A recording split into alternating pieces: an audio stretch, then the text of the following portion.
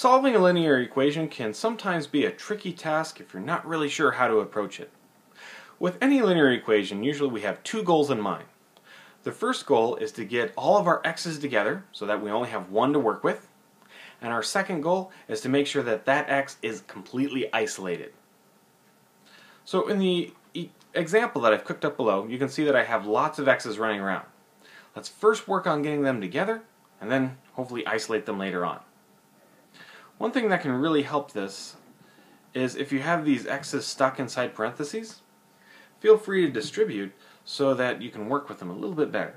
So here's a 9x minus 36 plus a 3x plus 6 equals 5x plus 8. Okay, perfect. So notice now I can take this guy, combine it with the 3x, and eventually move it to the other side. Alright, let's combine the terms that we can. So I see an x and an x. So that'll be a negative 6x.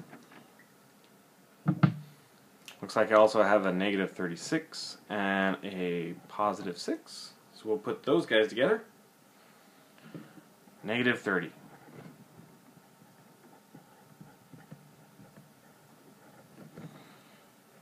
Alright, that's looking pretty good, but we still haven't gotten all of our x's together. Let's go ahead and do that now.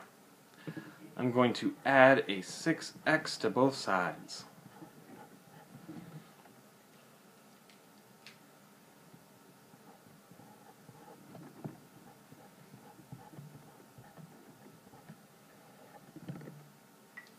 Alright, looks like we're pretty much home free. I now only have a single x in the equation. So I've satisfied my first goal, let's move on to the second. I want to make sure that this x is completely by itself on one side of the equation.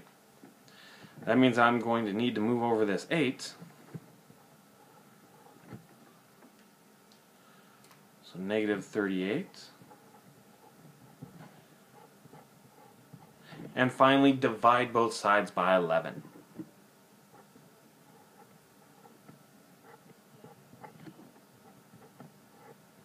There we are. So our final answer for this is a negative 38 all divided by 11. Since there is only one value that makes this true, we would consider this a conditional equation. If you'd like to see some more videos, please visit mysecretmathtutor.com.